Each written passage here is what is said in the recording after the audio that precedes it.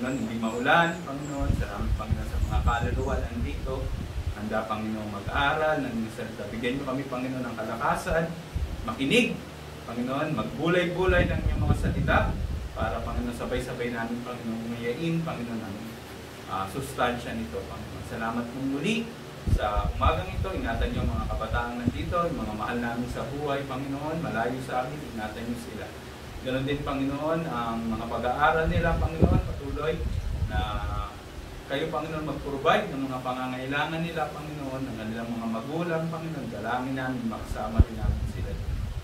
Salamat pong muli, Panginoon, sa uh, umagang ito. At binabalik po namin itong lahat sa matamis na pangalan ng aming Panginoon Jesus. Meron tayong start tayo ng 10.05 at 12.05. Tagal. No, no. Okay, go. Connecta muna po sa ating screen.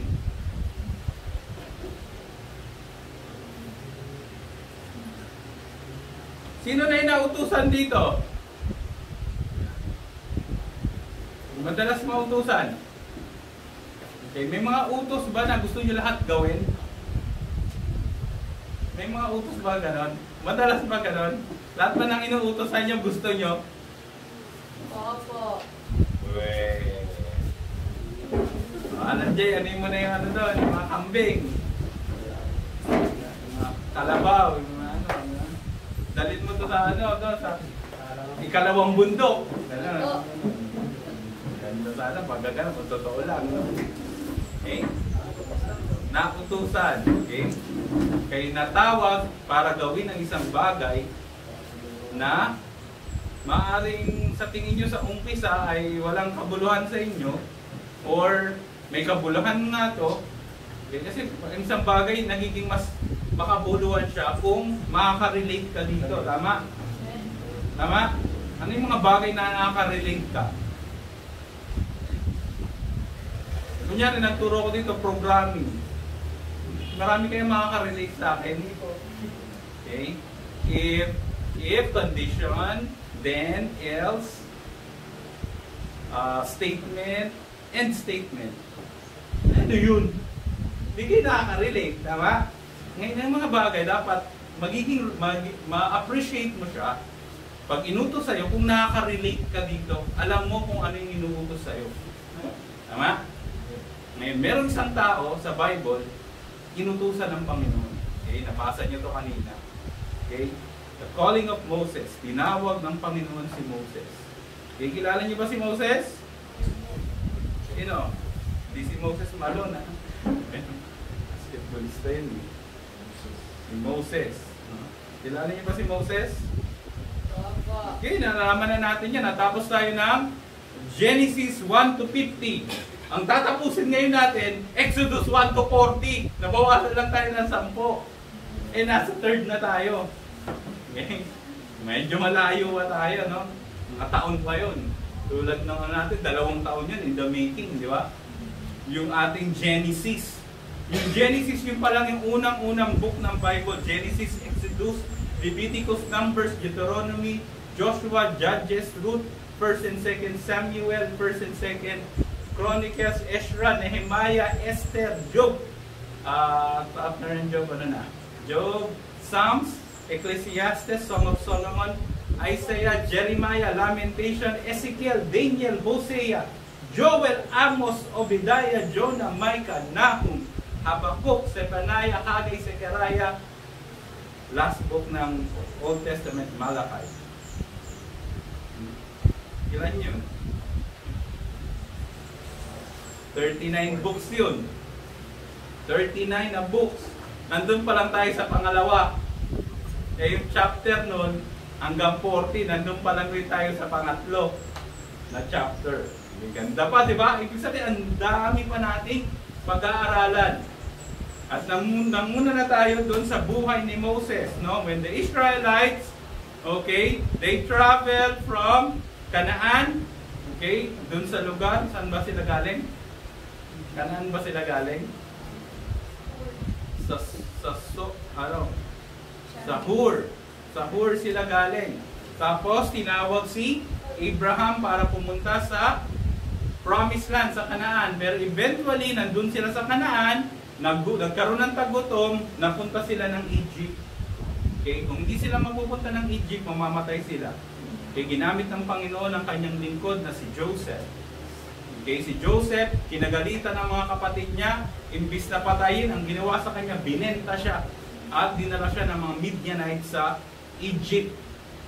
Nung nasa Egypt na siya, binigyan siya ng katalinuhan ng Panginoon kasi napakabuti ng kanyang puso, no? Nagkaroon siya ng pagkakilala sa Diyos doon pa lang, no? Eventually kasi ang faith normally pinapasa yan eh. Sinis, sinasabi mo yan sa isang uh, minimensahin mo yan sa isang kapatid, no? Sa isang mahal sa buhay, kung tatanggapin niya yan, na ipapasa yung pananampalataya. Okay? Paano pinapasa? Soul winning. Okay? Na ipapasa natin yan. Okay? Yung sana, yung mga kayo, nakikinig kayo ng soul winning, na ipapasa nyo rin sa ibang tao yung kaligtasan. Number one yun. Unang-una yun. That, that's the first step. Yung susunod dyan, katulad nito, mensahe. Inaaral natin yung salita ng Panginoon. No? Inahati-hati natin. No? Precept by precept.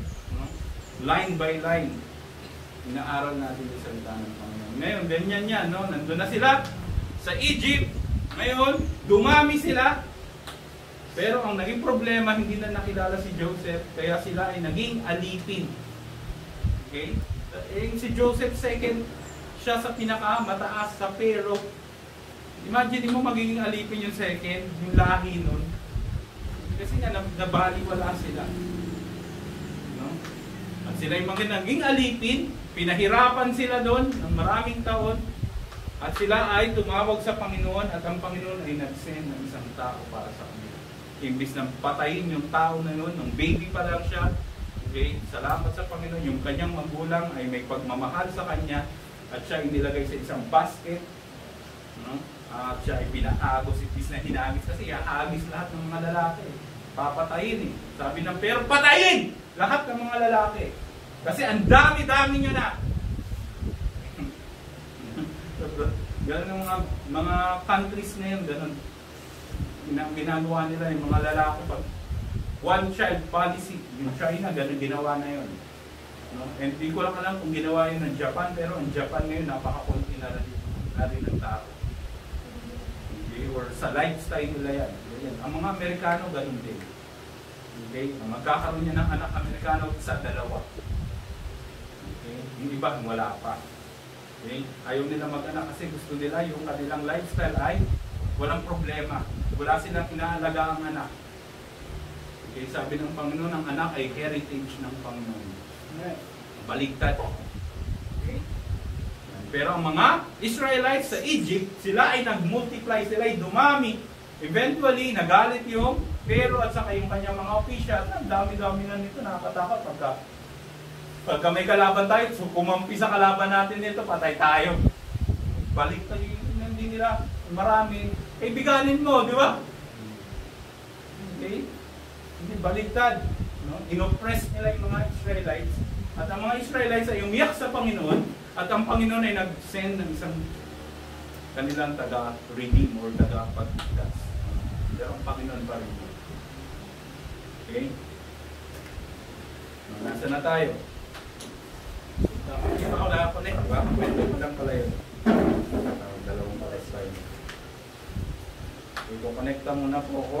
Yan po naging nangyari sa Egypt. Okay, sila'y dumami na at sinugo ng Panginoon ang isang uh, magiging redeemer nila, tagapagligtas or kasi yun, yun ang ano sa kanila, di ba? Kailangan nila ng may tatayo para sila ay malingap sa kanilang oppression, sa kanilang problema.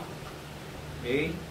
Kaso, yung nakikita nilang taga pagligtas nila, isang Hebrew, isang Israelites, napunta siya sa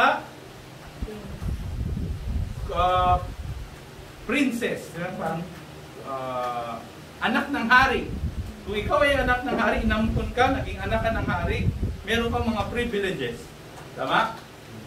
Imagine mo, inampun ka. Sino bang mayaman dito? atong ang ba may ari yan? Nampun ka ni atong ang.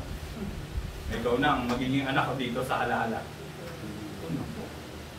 Lahat siguro ng sasakyan dyan, pwede mong imanera, Yeah. Lahat ng kinakain niya dyan, makakain mo. Eh, ganun na nangyari kay Joseph. Nakita nila, uy, meron na tayong pwedeng tagapagligtas. Kaso lang, mali ang ginawa ni Joseph. No? Inangkin niya yon no? Kaya nung nakikita siya nung may nag-aaway, inaway ng isang Egyptian, yung isang uh, Israelites, ang ginawa niya, pinatay niya yung Egyptian at nalaman yun ng hari at siya ay papatayin. Kaya ang ginawa niya, tumakas siya. Layo. Grabe, layo na. Meron na tayong okay na eh. Kaso lang, hindi pa pala. Binimiral ko yata di.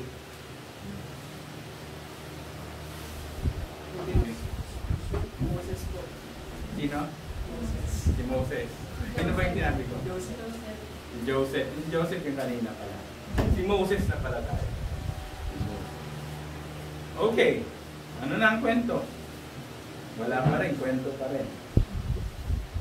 Na, na, na connect na lang ako ha. Hindi ko makakunik kasi ako sa tablet. Oo nga. Nasaan ba yung tablet? Patanggal mo na ng setting.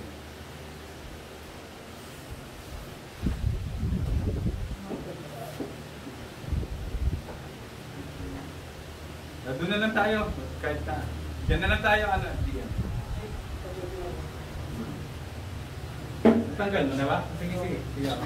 Ako na ako kano. May technical difficulties lang tayo.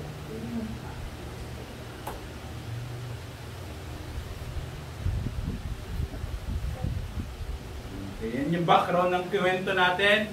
Si Moses ay nawala na doon sa Egypt na dapat siya yung kanilang magiging tagapagligtas. Tama?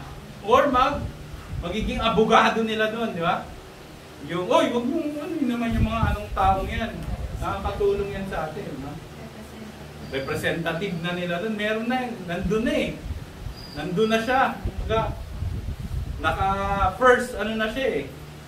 Naka first step na siya. Kaso lang nga, yun lang. Wala pa rin.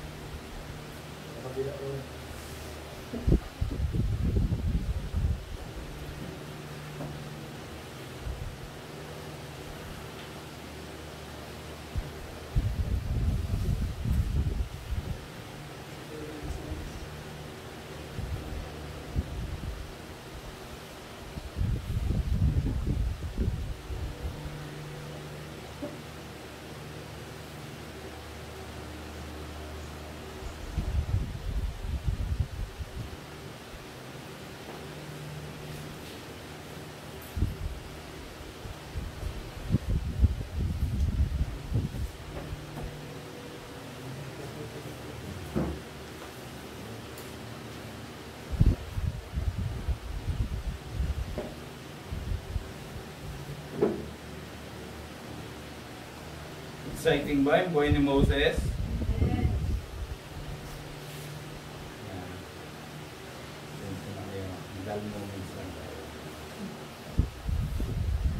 Hindi ako maka-connect din, pa-connect na lang din.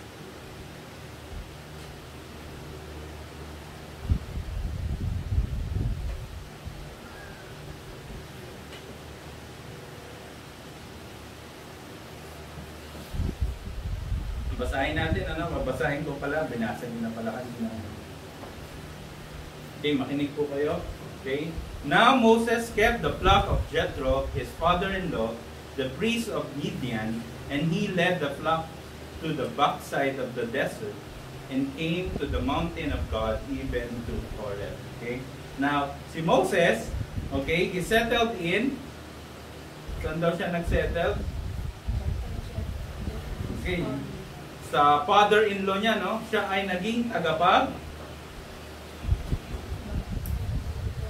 siya, alipin pa rin siya eh, doon eh, di ba? Okay, shepherd. Okay? Kung babal, natin, ito yung katayuan ni Moses ngayon. From a prince to a shepherd. Okay? Di ba? Yung mga kwento natin before, di ba? Yung mga Egyptian, ayaw na ayaw nila sa mga shepherd. Abominable yun sa kanila. Di ba? Sa atin, anong pinaka-abominable sa atin? Ano yung ano yung mga ayaw natin maging trabaho? Basurero. Gusto niyo ba trabaho ang basurero? Mahirap yun eh, di ba? Pero hindi masama yung trabaho niya. Pero kung ikaw ay papipiliin, hindi mo pipiliin yun. Tama? Pipiliin mo, mas maganda nasa opisina ka, papasok ka sa aircon na malamig. Di ba? Kakain ka ng masarap na malinis yung kamay mo. Okay, pero may mga bagay na mga trabaho na talaga madudumihan yung kamay mo katulad ng mga mekaniko. Okay? Pero ang sasarap ng kinakain nun. Okay?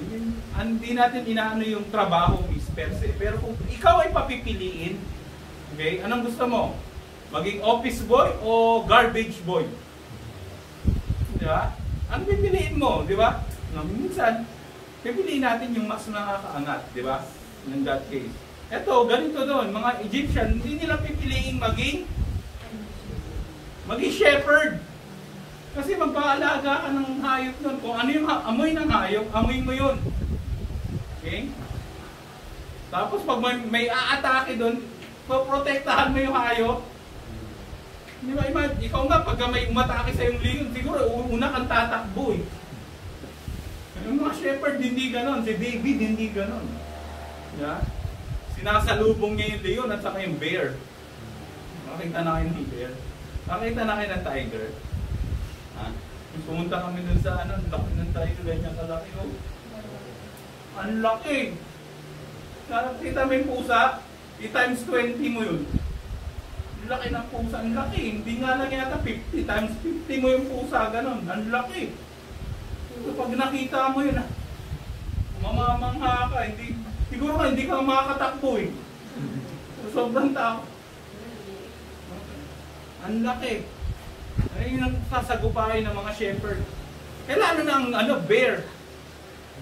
Di ba? Ang taga oso. Kung nakikita ka ng oso times times 10 naman yun ng lion. Yung laki nun. Pag tumayo yun, pag ginampas ka nun, hindi ka nang gigising. Diretso ka natulog. Ganon, ano, yun sasagupain ng mga shepherd. Okay, hindi madali yung trabaho ng shepherd. Okay, ganon ang naging trabaho ni Moses. Papakainin niya kayo, alam niyo yun dito eh. Salamat na sa Panginoon, wala dito mga mababangis na hayop eh, no? Aso siguro, pinaka the worst. Aso, no? Yung, or kalabang kambing, yung nanunuwag din. Yun yung mga pwede mong, eh, ano dito eh, di ba?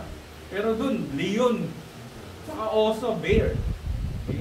Yan ang naging trabaho ni Moses. Yan yung unang-una nating side. Okay? Ang Panginoon, tatawagin ka kahit na nasaan ka. Kahit na anong sitwasyon mo. Okay? Hindi hindi nga madalas sa pinaka the best situation ka eh. Di ba?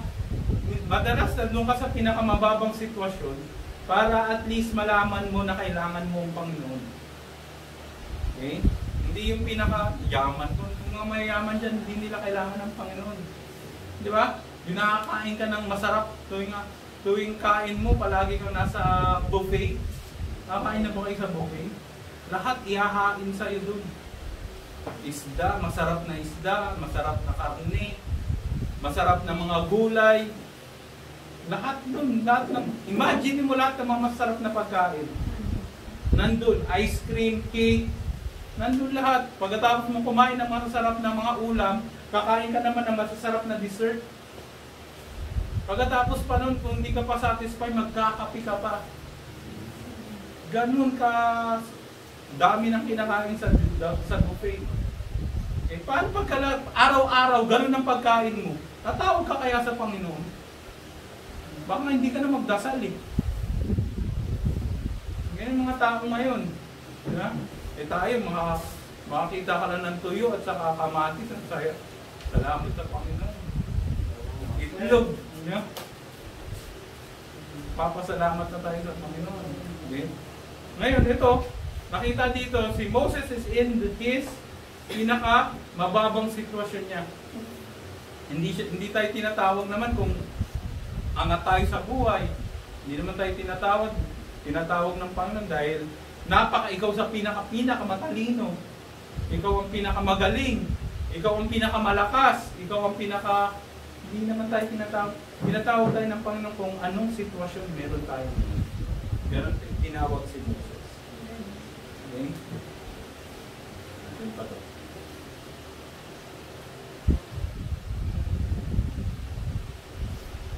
Okay. Two, and the angel of the Lord appeared unto him in a flame of fire out of the midst of a bush. Okay, special si Moses. No, ang Panginoon kasi wala pa ang Bible noon. Wala pang salita ng Panginoon. Ngayon binabalikan na lang natin kung ano yung ginawa ng Panginoon sa panahon nila. Okay, in this case, hindi pa kumpleto ang Bible. Kaya ang Panginoon nagpapakita pa sa burning bush. Nakita na kayo umaapoy. Di ba pag nagsusunog sila dyan ng mga ano, crops, di ba? Imagine mo, umaapoy yun pero hindi nasusunog. Hindi umiitim. May nakakita si Moses ng ganun. Hindi umiitim. Parang hindi nauubos. Umaapoy lang siya. Pero meron doon, nasa gitna doon, in the midst of it, appeared no, an angel of the Lord unto him in a flame of fire out of the midst of a bush. Sa gitna doon nun, merong isang uh, anghel ng Panginoon. Pero mamaya, ipopromote yan eh. Ang anghel kasi ay isang messenger. No? Either be, kung sino man yung messenger na yon, mamaya makikita natin kung sino as we go through. Okay? Sabi dyan, not consume, hindi na uuubos. Ano ang Panginoon? Hindi mo siya mauubos eh. Kaya mo bang ubusin yung resources ng Panginoon? Kaya niyo bang ubusin yung resources ng Panginoon? Dati niyo mauubos kaya yung yaman ng Diyos.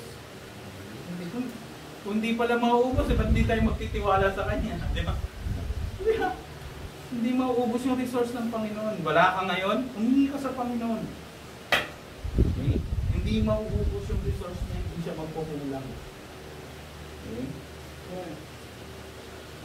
And Moses said, I will now turn aside and see this great sight, why the bush is not burning. Okay? Cur- Curiosity. Okay? Minsan, nagbibigay ang Panginoon ng mga bagay na binibigyan tayo ng curiosity. Ano yung ginagawa ng mga yun pag tuwing Sabado? Kaya sila pumupunta dyan, sa lugar na yan. Kakanta-kanta sila, di ba? Sana magkaroon sila ng curiosity. Okay? Minsan binibigyan tayo ng curiosity. Si Alan J, paano napunta dito si Alan J? Sana yung mga gandang ano na hikayat kayo sa mga mga gandang bagay. Okay? Si, si Rafi, paano kaya napunta sa ano? Ano kaya ang naghikayat kay Rafi? Curiosity yun. Masaya doon. Or ano kaya pinag-uusapan nila doon? Gusto ko rin malaman. Curiosity. Ganyan na nangyari kay Moses, no? And when the Lord saw that he turned aside to see, God called unto him out of the midst of the bush. Kung hindi siya lumingon pabalik, hindi siya naging curious, hindi siya tatawagin ng Panginoon. Tama? Eh kung ay, yung susunog yan. Diba? Ewan ko dyan, bahala yan. Diba? Pwede naman yan eh. Pwede ka mag, ano? Kibit, balikat. Diba? Pinag, ano, sinashrub mo lang. Kinikibit, balikat mo lang. Balay. Pero si Moses, naging curious siya. Ngayon, na naging curious siya, sabi ng Panginoon, so that he turned aside to see, God called unto him out of the midst of the bush and said, Moses, Moses! And he said, Here am I. Okay, yan yung mga response ng may pag respeto. Di ba? Pag tinawag ka, James, James! Moses tinawag eh. Moses, Moses. Ang sasagot niya, here am I. Sana pag tinatawag tayo, sumagot tayo, "Ah, ay, nandito po. Baka sa loob lang kayo ng classroom, naghahanap eh, present eh. Diba? James Sanyo, present! Ah, diba? Prince! Present. Dapat present ka. Pagka na- na-absenan ka nun, di ba? Bawas grade mo. Si Moses, sabi niya, here am I. Okay, sana ganun tayo mag-respond sa Panginoon. Pag tinatawag tayo ng Panginoon, na may pinapagawa ang Panginoon sa atin, clear cut. No? Sana dapat ganun ang response natin. Nandito po ako, Panginoon. Nandito po ako. Present po! Mga ano, di ba? Mga sundalo, ganyan. Hindi pwedeng present. Pagkain ano ko doon, James Sanyo. Uh, Sanyo Platitas James. Sanyo James Platitas ba namang ano? Ah, ka ano? Narito po! Ano, di ba? Wala na kayong ano eh, ah, ROTC at saka CAT. Ganun kami dati. Okay? Pag tinawag yung pangalan mo, nakapuntodo uniform ka na. Narito po! Sana ganun tayo sa Panginoon. Pag tinawag tayo ng Panginoon, nandito po Panginoon. Here am I. Okay? Katulad ni Moses. And he said, Draw not nigh either. Put off thy shoes from off thy feet. For the place whereon thou standest is holy ground. Okay? Yan na siya ng instructions. No? Dapat mag magbigay ka respeto. Itong lugar na to ay holy ground. Okay? Nagiging holy naman yan. Ang Panginoon naman ang bibigay ng nagpapahuli sa lugar eh, di ba? Yan, siya lang naman nagpapahuli. Ibig sabihin nun, bibigay ka ng respeto. Okay? Mga kabataan ngayon, hirap-hirap ah, magbigay ng respeto. Okay? Kahit matanda, binabastos. Okay? Sad to say, no? nangyayari yan. Okay? Nagtatawa, matatay, matanda na, mahina na, pinagkikwentuhan na. Dahil hindi nyo alam, darating din kayo sa Rome. Okay? Tandaan nyo, lahat ng pinagdadaanan namin, pagdadaanan nyo. Di ba na lang kung mauuna kayo sa amin? Tandaan natin kabataan. Okay? Respeto. Okay, respect. Moreover, he said, I am the God of thy father, the God of Abraham, the God of Isaac, the God of Jacob. And Moses hid his face, for he was afraid to look upon God. Nagpakilala na sa iyo ng Panginoon. Okay? Eh, Sinabi yung mga ninuno mo. Okay? Kilala niyo pa ba yung mga lolo niyo sa tuhod? Kilala niyo mga hirap? Hindi na eh, di ba? Sila kilala nila kung sino si Abraham, sino si Isaac, sino si Jacob. Kilala nila yun kasi kinikwento yun ang history nila eh. Di ba? Ba't kilala niyo si Rizal? Binabanggit lang. Bakit niyo kilala natin si Rizal? Eh, tapos yung lolo ko, hindi ko kilala. Yung lolo, lolo, lolo, lolo ko, hindi ko kilala. Pero si Rizal, kilala ko.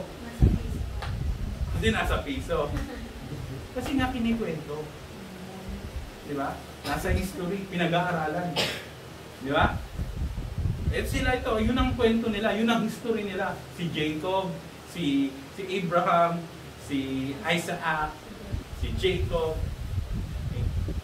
History nila yun. Kaya kilalang kilala nila yun. Ito ang Panginoon.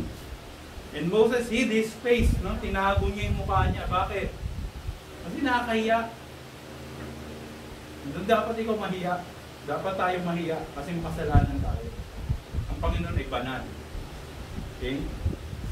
For he was afraid to look upon God. Sabi ko kasi, yan ang alam nila. Pagka nakita mo ang Diyos, mamamatay ka. Pero marami mga instances nagpapakita ang Diyos. At ang nagpakita ang Diyos, nagpakita siya ng New Testament. Yan ay ang Panginoon Jesus. Face to face nakita siya. Nahawakan. We have seen, we have heard, we have looked upon, and our hands are handled of the word of life, sabi ni John. Okay? 1 John 1. Okay? Okay, nasa na tayo? Nandun lang tayo sa 7. And the Lord said, I have surely seen the affliction of my people which are in Egypt. Okay, nagbigay na ng rason ng Panginoon. Bakit siya kinausap? Ito na, yung rason. The reason why God talked to or called Moses. And I have heard their cry by reason of their taskmasters, for I know their sorrow. Eh, alam pa ng Panginoon pinagdadaanan natin? Amen. Yun ang sabi niya, I know their sorrows. And I am come down to deliver them out of the hand of the Egyptians and to bring them out out of the land unto a good land and a large land unto a land flowing with milk and honey unto the place of the Canaanites and the Hittites and the Amorites and the Perizzites and the Hivites and the Jebusites. Okay? Mga grupo po ng mga tao yan. Sabi ng Panginoon, doon daw sila patitirahin. Okay? Yan ay established na lugar na. Okay? Sabi doon, anong klaseng lugar? Good land. Sa halala ba, good land? Ganda ng lupa dito. eh. Pag makita mo lang yung mga green na mga stock ng ano, di ba? Yung mais, tapos pag tinignan mo, malayo ba? Nakaka-relax. Ang ganda ng, ang ganda eh. Magdadaan pa lang ikaw dyan, papunta kami dito, yung mga puno, nagsasalubong na gano'n. Wala gano'n sa Manila eh. Buto, building, sa mall. Pero hindi, ginawa lang ng tao yun, yung gawa ng Diyos eh. Yung parang tunnel ng puno na pag pwede kang maglakad, pwede kang mag-jogging kahit mainit yung lugar, pwede kang mag-jogging, hindi ka mainitan. Ganda eh. A large. Hindi maliit. Meron kayong lupa. Ay, tuwa ka na sa paso. hindi. Sabi ng Panginoon, a large land. Malaking lupa, malaki, hindi maliit. Unto a land flowing with milk and honey. Masarap ba yung milk? Yes. Masarap ba yung honey? Pag pinag-combine mo yun, milkshake yan. May isip, sarap nun. Alam niyo ba yung ice cream gawa yun sa milk at saka sugar. So yun, ano pag nilagay mo dun, honey. Ang sarap nun. Okay. Ganon yung ano, milk and honey. Hindi tuyo and ano, Tama. kamatis. Pero masarap pa rin yun. Yeah. Milk and honey. Okay? Unto a place of, yan ay mga lugar na yun yung mga nakatira doon. And now therefore, behold, the cry of the children of Israel is come unto me, and I have also seen the oppression wherewith the Egyptian oppressed them. Come now therefore, and I will send thee unto Pharaoh, that thou mayest bring forth my people, the children of Israel, out of Egypt. Ito na. Alam na ni Moses eh. Nandun na siya eh. Di ba? Naging papatayin siya ng baby, pero imbis na papatayin siya ng ginawa sa kanya, sinave siya ng Panginoon, no? Nilagay siya sa isang basket, matalino ang kanyang magulang, yung kapatid niyang babae, matalino rin si Miriam, no? Nung nakita na, ay, nan- naliligo doon yung prinsesa, sana maawa to sa baby. Naku, Pinaanod nila doon si Moses. Nakita ng prinsesa yon at siya ay inampon. Tapos sabi ng prinsesa, sino pwedeng ano, sinabi ng kapatid niya, ay, meron pong pwedeng mag-alaga dyan. Yung nanay niya. Galing, di ba? Ngayon sabi ng prinsesa, sige, alagaan niya, babayaran ko kayo. Ang bayad pa. Alagaan na, babayaran pa. Imbis na papatayin. Baliktad yung nangyari. Okay? Lumaki si Moses ngayon sa palasyo, di ba? Kaso lang nga, yun, gusto niya na maghari-harian, hindi yun ang kalooban ng Panginoon, dito na bumalik yung kalooban ng Panginoon sa kanya. Okay? Ito na. Kita nyo, yung merong reason, ano yung reason? Ayaw ng Panginoon ng oppression. Tama? Ayaw ng Panginoon ng mga bully. Ayaw ng Panginoon ng mga mayayabang. Ang Panginoon ay may hustisya. Okay? Pag kayo naaapi ngayon, ang Panginoon ang bahala sa inyo. Okay? Mga kabataan ngayon, di ba, mahilig sa mga grupo-grupo kasi ayaw nilang maaapi. Pag may umapi sa atin, rest back tayo. Okay? Yan ang mga kabataan ngayon eh, di ba? Mga kalalakihan. Ako Robin Padilla eh. Bad boy ako eh. Mga, mga ganun yan. Lalo sa Manila. No? Pag namunta kayong Manila. Grupo-grupo dun. Gang-gang dun. Geng-geng. Okay? Pinapunta kayo doon ako. Ang daming mga drugs and so on so forth. Babae. Nandun lahat. Pagka nagkaroon ka ng geng-geng. Nandun na lahat yun. Nasali ka doon. Okay, kasi, bakit? Natatakot sila eh, di ba? Mag-isa lang. Gusto nila magkaroon sila ng kapangyarihan. Okay? Pero ang Panginoon, binigay yun kay Moses. Okay, makikita natin mamaya dito. Kung paano ibinigay sa isang lingkod ng Panginoon yung kapangyarihan. Ngayon, gagawin mo, magle-liberate ka ng tao. Hindi. Actually, country na yun eh. Isang buong bansa yun. Papalayain mo sila. Isang tao nga palayain mo sa ano sa kulungan, kaya mo ba? Di ba? Hirap yun. Kahit magaling kang lawyer. Pero iba magagaling. Ayun, hindi lang isang tao, isang buong bansa. Papalayain mo. Ganun ang gagawin ni Moses. Okay? Kaya malaki yung kanyang task. 11, And Moses said unto God, Who am I? Ito na. Okay? Ikaw ba pag inutusan ka? Oo agad?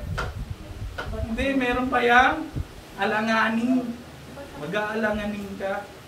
Kasi hindi mo pa naman alam kung anong gagawin mo eh. Di ba, alam mo na papalayain. Inutusan ka, palayain mo yung mga ano ko kasi na-oppress sila. Ha? Okay, tara, sagot niyo mga Tignan nyo.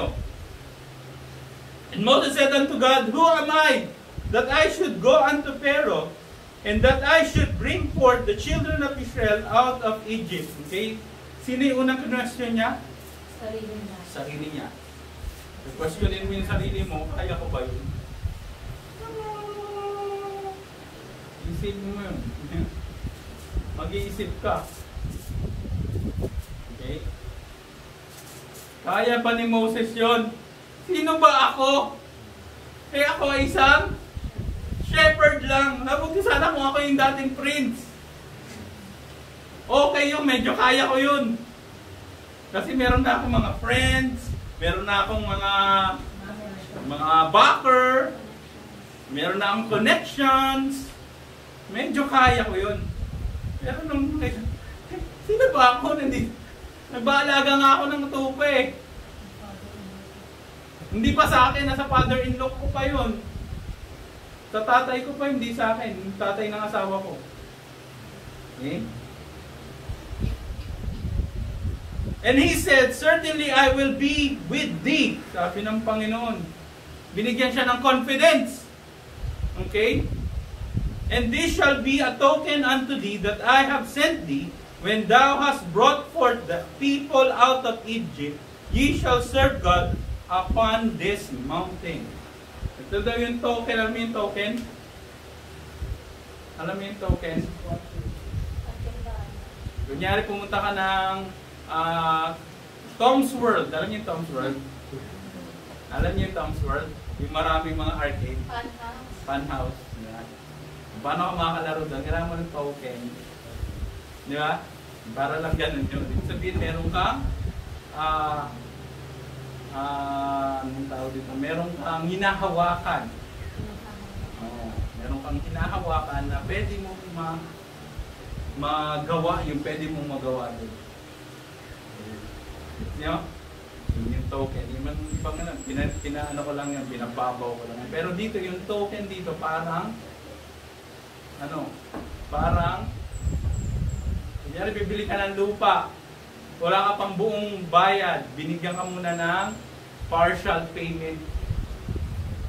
Okay? Pero sure na yun. Siyempre, kung ang lupa isang milyon, binigyan, nagbayad ka rin ng 100,000, di mo pa ba kukuhanin yun?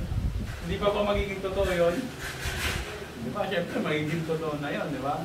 Kasi yung nangako sa nun ay totoo rin. Okay? Dito, ang nangako sa Panginoon, ah, ah, sa kay Moses, ay ang Panginoon. Okay, I should bring forth the children of Israel out of Egypt. Listen ako. When thou hast brought forth the people out of Egypt, ye shall serve God upon this mountain. Okay, babalik ka rin dito, pagsisilbihan mo ang Panginoon. Sarap na, di ba? Pinagawa sa iyo isang bagay, sinusuka ng Panginoon na babalik ka rin dito. Okay? And Moses said unto God, Behold, when I come unto the children of Israel, and shall say unto them, The God of your father hath sent me unto you, and they shall say to me, What is his name? Eh, ba't mahalaga yung pangalan? O sino nagsugo sa'yo dito? Sino nag-utos sa'yo dito? Hindi ko alam eh. Mahalaga ba yung pangalan? Yes! Kasi yung pangalan doon nagkakaroon ng authority. Sino nagsugo sa'yo dito? Ang presidente. Di parang meron ko? Presidente nagsugo sa akin dito. Eh paano pang ang Panginoon nagsugo sa'yo? Anong authority meron ka? Full authority. Okay? Tingnan natin. Sabi, sabi ni Moses, eh paano pagka tinanong yung pangalan mo kung anong pangalan mo? Okay? Ang sabi ng Panginoon. And God said unto Moses, I am that I am. May kantang ganyan, ginagaya ng mundo. I am what I am. Kantang. Pero dyan, I am that I am. Ako ay ako nga. Wala ka ng pag-aanuhan doon. Siya ay siya nga. Ganun ang Panginoon. Wala ka ng ibang hahanapin pa. Siya at siya nga. Siya nga yun. Kompleto na yun. Okay? And he said, Thou shalt thou say unto the children of Israel, I am hath sent me unto you. Okay? When Jesus, inaano siya ng mga ng mga uh, religious leader, sabi niya, I am. Sino yun? Sino daw yung ang sino daw yung Lord dito, yung Panginoon? Yung kausap ni Moses, sino yung kausap ni Moses dito ngayon? Wala nang iba ang Panginoon Jesus. Ang Panginoong Jesus nandun na siya nung Old Testament pa. Nandun na siya ng creation pa. Ganda dito. Si Moses at ang Panginoon nagkita na sila. Ganda, di ba? Okay? Natin. Thou shalt say unto the children, I am, hath sent me unto you. And God said moreover unto Moses, Thou shalt thou say unto the children of Israel, The Lord God of your fathers, the God of Abraham, the God of Isaac, the God of Jacob, hath sent me unto you. This is my name forever, and this is my memorial unto all generations. Nung nagpakilala siya sa Panginoon ng panahon natin, siya ay ang Panginoon. I am. Okay, hindi na tayo nakatingin sa dark uh, dark glass. Okay? Nakikita na natin siya kung sino siya. Okay? Si Moses, pinapangalan na sa kanya, I am that I am. I am. Go and gather the elders of Israel together and say unto them, The Lord God of your fathers, the God of Abraham, of Isaac, and of Jacob, appeared unto me, saying, I have surely visited you and sent that which is done to you in Egypt. Sin, that, that which is done to you in Egypt. And I have said, I will bring you up out of the affliction of Egypt unto the land of Can- Canaanites, and the Hittites, and the Amorites, and the Perizzites, and the Hivites, and the Jebusites, unto the land flowing with milk and honey. Okay, Kuya James, bakit ganun? May mga tao doon, ba't tatanggalin ng Panginoon yung mga tao doon? Hindi ba unfair ang Panginoon? Eh, may mga tao doon eh. Kunya dito, may tao dito, tapos biglang may tasakop sa atin. Aalisin tayo lahat. Tama ba yun? Okay, so in the, in the first instance, mali, di ba? Pero yung mga taong yan, yan yung mga tao na ayaw sa Diyos. Okay. Ibig sabihin, ang Diyos ay may hustisya. Okay, gets nyo? Okay? Yung mga ino-oppress ay tinutulungan ng Panginoon. Yung mga nag-o-oppress ay tinapatalsik ng Panginoon. Yan ang justice, yan ang hustisya. Kaya kung tayo, tayo yung makulit, magulo, okay, anong gagawin sa'yo ng Panginoon? Hintayin mo. Huwag naman sana.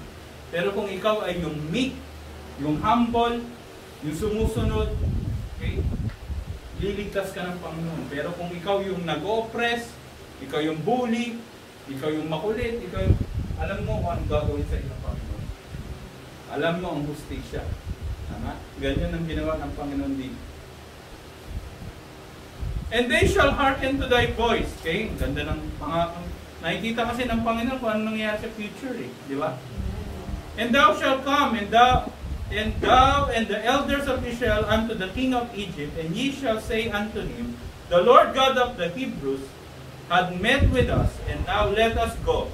We beseech thee, three days' journey into the wilderness, and we may sacrifice to the Lord our God. And I am sure that the king of Egypt will not let you go, no, not by a mighty hand. Okay? Binigay na sa kanya, oh, pupunta kayo doon, may kiusap kayo, na kayo ay palayain, three days journey, bilingkod kayo sa Panginoon, pero hindi kayo papayagan. Alam na, inu- inutusan ka, oh, bumili ka ng ganito, pero wala. Pagka sabihin sa'yo ng, ano, ng, ng nagtitinda, wala na po. Ang hirap, di ba? Ganun ang ginawa kay Moses.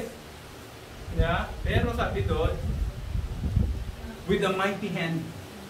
Ibig sabihin nun, meron pa rin pag-asa. Okay? Pakikita natin yan sa mga susunod na chapter kung gaano ang kapangyarihan ng Panginoon. Okay? And I will stretch out my hand, okay, and smite Egypt with all my wonders, which I will do in the midst thereof. And after that, He will let you go. Okay? Papakawalan niya kayo. And I will give these people favor in the sight of the Egyptian. And it shall come to pass that when ye go, ye shall not go empty. Aalis kayo, mga servant kayo, ang servant, pag pinaalis, layas lang, di ba? Pero sila, pag pinaalis daw, bibigyan sila ng pabor at hindi sila aalis nang wala silang dala. Kapag aalis ka, ano gusto mong dalhin? Pag aalis ka, ano gusto mong dalhin? Pera. Di ba? Yung damit, pagka may pera ka, makabili akong damit. Pag may pera ka, makabili akong pagkain. Alam niyo yung mga pera ng panahon na yun, gold, mga precious stones. Aalis sila, hindi sila empty-handed. Aalis sila merong dala. Okay? Kita mo, di ba? Pinakita yung picture kung anong mangyayari sa kanila. Hindi sila clueless. Okay? Ganun ang Panginoon, ayaw niya maging clueless tayo. Okay? Pinakita na sa atin yung picture. Kayo, pag naligtas kayo, darating ang panahon, darating ako, papaguhin ko yung katawan nyo. Kung ano man yung pagdadaanan nyo ditong hirap, pagdating nyo ng panibago yung katawan, ma- makakalimutan nyo lahat. Yan ang pangako ng Panginoon sa atin. Ano yung paghihirap natin dito sa katawan? Yeah? Magkasakit ka dito, okay lang. Okay? Gamitin mo yung katawan mo sa Panginoon. High blood ka, okay lang. Gamitin mo yung katawan mo sa Panginoon. Maliit ka, malabo mata mo, gamitin mo sa Panginoon yung katawan. Okay? Maraming mga bagay. No? Matanda na tayo, mahina. Mahina ang mata, mahina ng mata ko. Hindi na ako. Kahit ngayon sa malayuan, magaling ako kasi farsighted ako. Pero pag malapitan, ma dokling-dokling na ako. Malabo na. Pero gamitin natin yung katawan natin sa Panginoon. Maitim ka, kaso yung maputi ka, kaso yung Gwapo ka, hindi ka ganun kagwapuan, gwapo ka pa rin. Gamitin mo yan sa Panginoon. Okay? Anong oras na?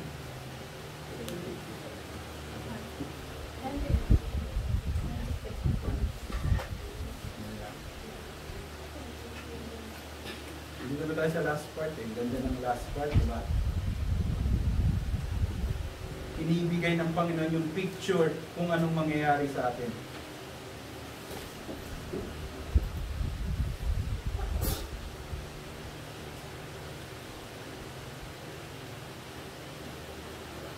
Okay? Hindi tayo binagawang clueless ng Panginoon. Yung pananampalataya natin, hindi na hindi yan naka-anchor sa wala lang. Pinapakita ng Panginoon kung ano yung pwede niyang gawin para sa atin. Kung tayo ay magiging tapat sa Kanya. Okay? Saan na tayo? But every woman shall borrow of her neighbor and of her that sojourneth in her house jewels of silver and jewels of gold and raiment, and ye shall not put them upon your sons, and ye shall put them upon your sons and upon your daughters, and ye shall spoil the Egyptians. Ibig sabihin ng spoil, meron kang mga nakuha sa kanila. They are your oppressor. Sila yung nag-oppress sa'yo, sila yung mas may malataas na posisyon sa'yo. Pero pagkatapos nito, sabi ng Panginoon, sila ay mawawalan at ikaw ay magkakaroon. Okay? Hindi ka lalabas ng empty handed. Yan ang maganda sa Panginoon. Diba? Wala tayo ngayon. Diba? Ano bang meron tayo ngayon? Kung anong meron tayo, gamitin natin sa Panginoon. Okay? Sabi ng Panginoon, lalabas tayo. At the end, tayo yung panalo. We are more than conquerors. Sabi ng Panginoon.